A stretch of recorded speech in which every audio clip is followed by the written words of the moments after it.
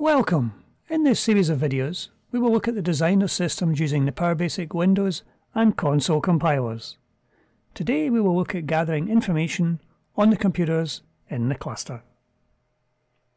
Over on my hardware YouTube channel, I've been detailing the work done to create the computers that will be used in this cluster processing project.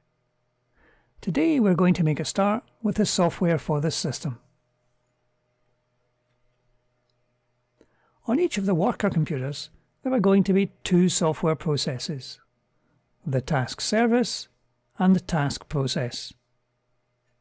What we're going to look at today is the task service and the information it needs to gather on the worker computer and store in the database.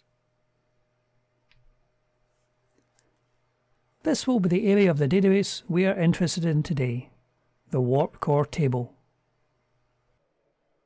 In order for the task process to insert this information into the database, there are two things we need to do.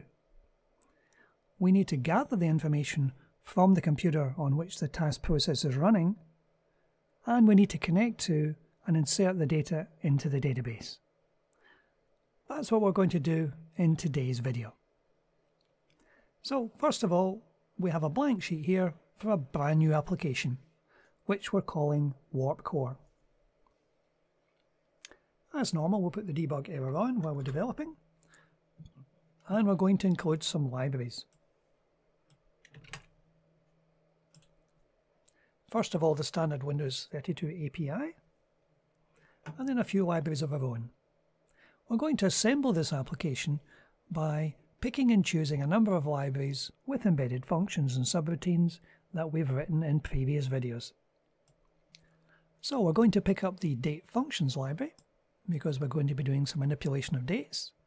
We're going to be using the PC info library because we want to pull information out from the machine we're currently running on. And we'll be using some file handling routines as well. Now, depending on the amount of work this particular task has to do, it may well still be running when the next scheduled start of the task begins. Therefore, we'll want to check to see whether the current task process is already running on the computer. So we're going to include another library which will pick up our processes. This is a very popular SQL Tools product from Perfect Sync. Now today I'm demonstrating with the professional version of SQL Tools and now I can't include these libraries with the distributable files as these are purchased libraries but I'll put links in the description below to where you can actually get them or purchase them from. However, I can thoroughly recommend SQL Tools as a mechanism by which to connect to SQL Server databases. It really takes all the hard work out of it. In addition, we're including one final library, which is our generic SQL functions library, which we prepared in a previous video. These functions sit on top of the SQL Tools libraries and further simplifying the method for getting data into and out of SQL Server databases. So having sorted all our libraries out, there are three global variables I'm going to set up, which we'll use during this program.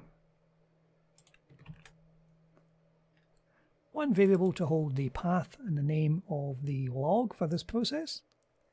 Another global variable to hold the total number of processors, that's CPU processors on the machine we're currently running, and an array which is going to hold the list of databases we're going to connect to. In this particular project, we'll probably only be connecting to a single database. But it's always good to have an array here so that should you want to add additional databases at some later point, it's quite easy to do so. And we're going to put in one constant, which is going to be our database handle for the single database we're going to be connecting to. So having put all those in place, the first thing we want to do is to work out is this task process already running? The process count function takes a single parameter. In this case we're using xe name x dollar which is passing to the function the name of the process we're currently running, the name of the executable. Process count will return a number, which is the number of instances of that process currently running on this machine. If the number is greater than 1, there must be a pre-existing process already running. If that's the case, then we're calling another little function called exit app. This purely exits the application.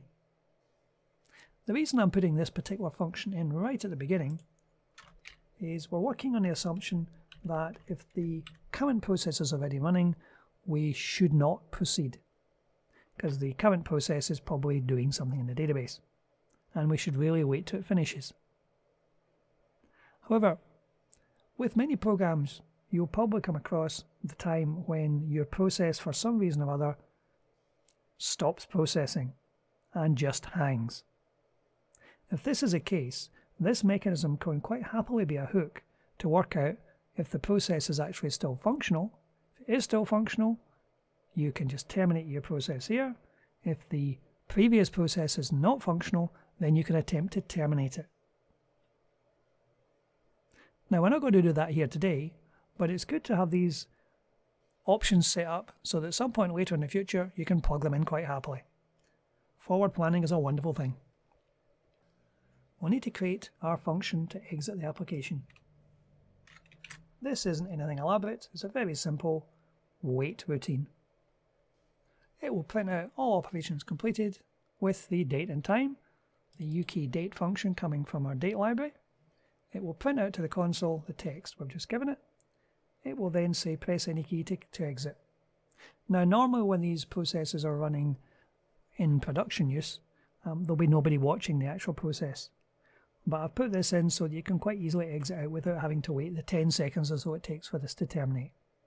The only reason I'm leaving it on screen for 10 seconds is so that in development time, when you're actually watching it, you get to see what's happening for 10 seconds before the program actually terminates.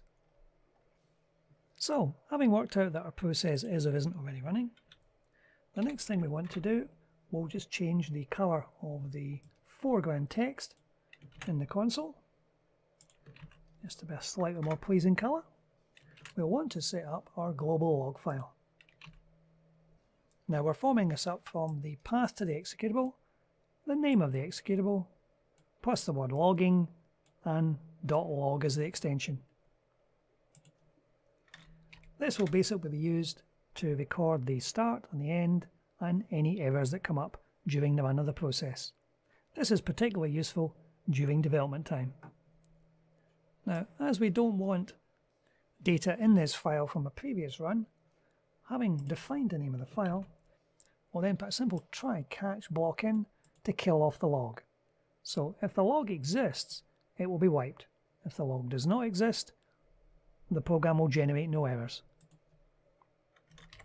So the next thing we want to do is to work out the total number of CPUs, the total number of processors on this machine. Now we can do that quite easily by populating our global variable with a function that's in our PC info library. And this will quite easily return however many CPUs are actually on this machine. Now if we want to check to see whether that's worked or not, let's just put this out to the log. So we're creating a small function called funlog that takes a single parameter, which is the data we want to put to the log. We're putting the date and time before all the text, and we're using one of the functions in our, one of our libraries to append it to the name of the global log file. And we're also putting it on the screen. So if we put a call to that routine in here, just to see this function is correctly picking up our information, and to leave it on screen long enough, we're going to call the exit application routine at the very end to give us time to see it. And there we are, 16 CPUs. So it's quite correctly picking up the information from our machine. Now we won't normally have this in production, so we're just going to take this line out.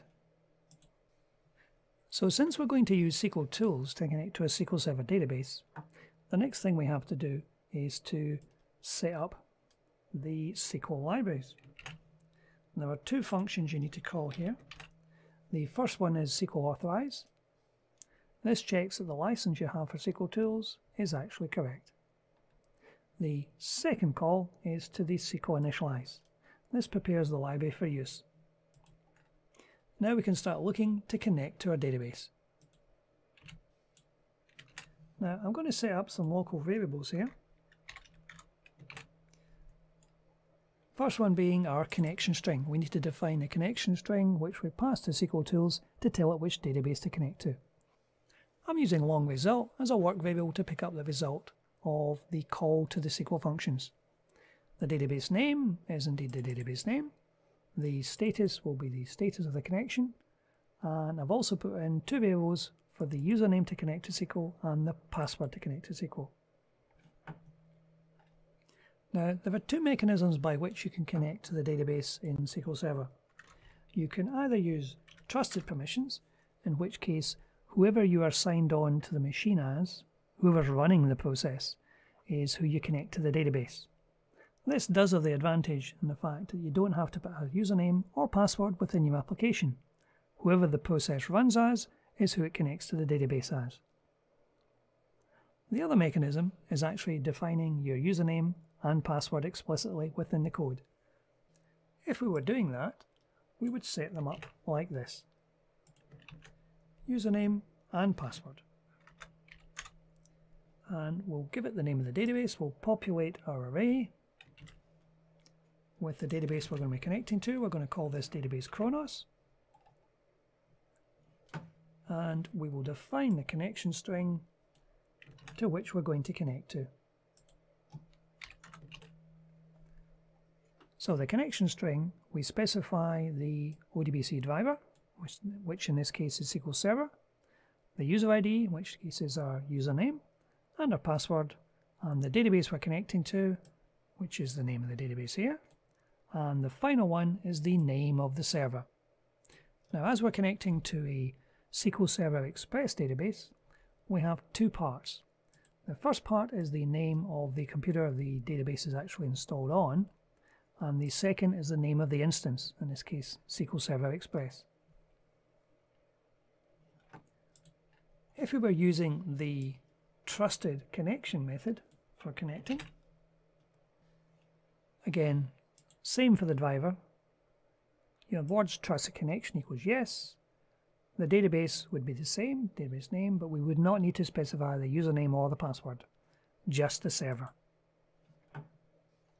So how do we connect to the database?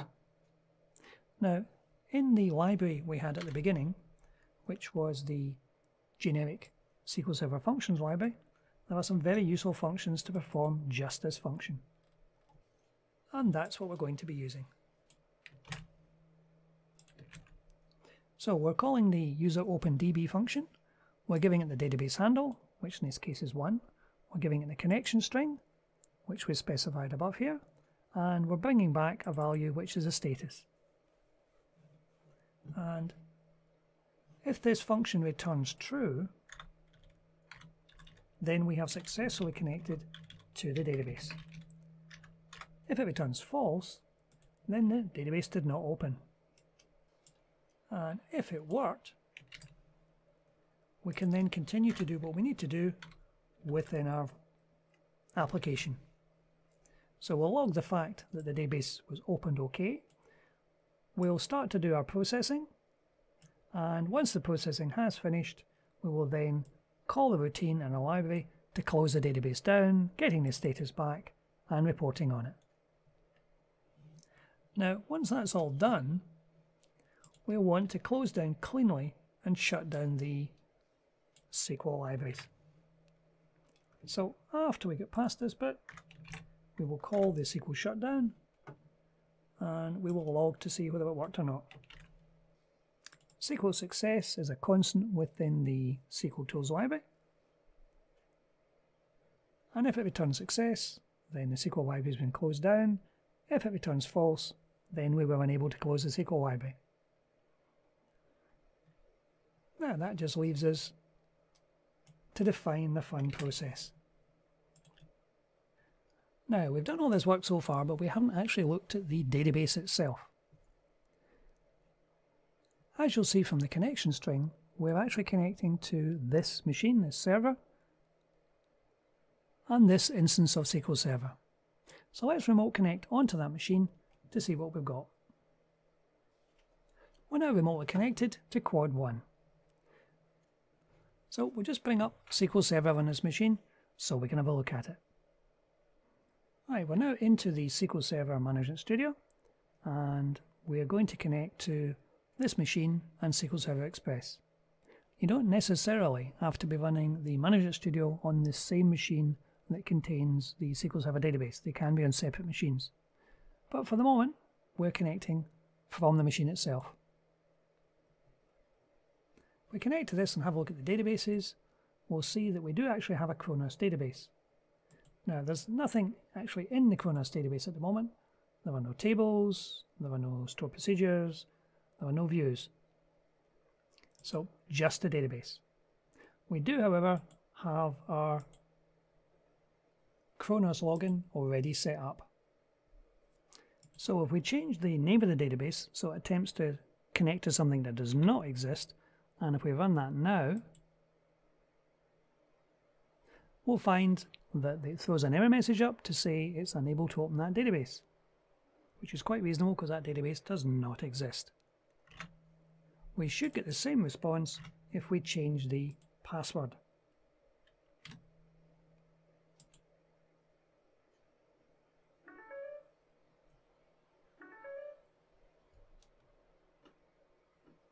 Again, we cannot connect. So if we return our username, password and database to what they should be and attempt to run the program now, we will see that we can quite successfully connect to our database. So what we have done today is we've created an application which can connect to a SQL Server database using a specified username and password or a trusted connection and it will connect to the database of our choice. What we will do in the next video is gather the key information from this computer. We will then bundle that up and save it into our database. And this will become the heartbeat of the process, which the process monitor can actually use to display the status of the entire cluster. But that's it for today. Thank you for watching.